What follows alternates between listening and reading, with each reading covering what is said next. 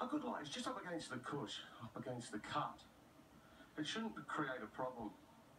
So he'll play a little parachute shot. I believe he'll land it on the green. He could bump it. He comes from North Hants. In the middle of the summer, North Hants, it bakes. So he can bump it, link style. The great golf course he learnt on North Hants, Fleet. I used to play there a lot. Really good golf course. So open it up and just play a little pop shot